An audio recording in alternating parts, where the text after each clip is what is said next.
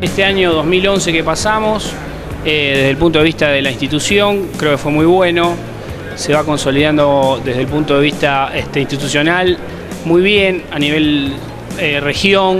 Ya somos Asociación Empresaria de la Vivienda eh, de la provincia de Santa Fe. Tenemos asociadas empresas del interior de la provincia, de distintas ciudades, y estamos interactuando con los distintos estamentos públicos, llámese Ministerio de Trabajo, eh, distintas secretarías de la municipalidad, etcétera, que creo que, es muy bueno desde el punto de vista institucional. Por otro lado, a nivel actividad eh, empresaria, individual, de empresa por empresa, creo que fue un año de un balance positivo, un año bueno, un año bastante estable. En las empresas tradicionales de la ciudad ya no es tanto el negocio de oportunidad, sino eh, volvió a ser un poco lo que era antes, el negocio de empresas que se dedican como negocio principal a la actividad de la construcción, el desarrollo inmobiliario.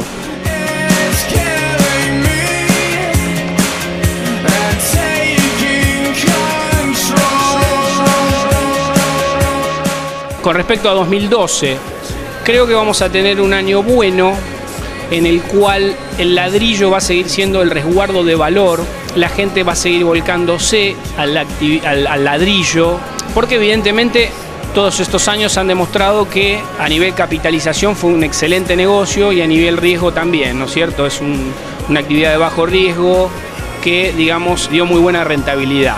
Y donde usted puede, digamos, el, consumidor o el usuario o el inversor encuentra eh, realmente un resguardo de valor.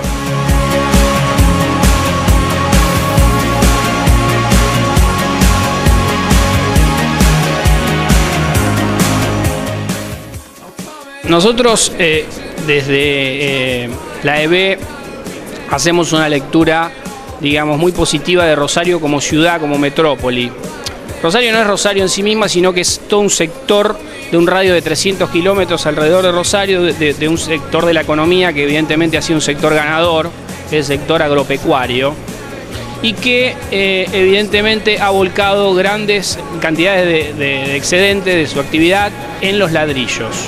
Realmente fue eh, un, un círculo virtuoso hay un elemento que es fundamental, que hoy está faltando para que la actividad se siga desarrollando y siga teniendo los, mismos índices de crecimiento en los cuales veníamos teniendo los últimos años, que es el crédito.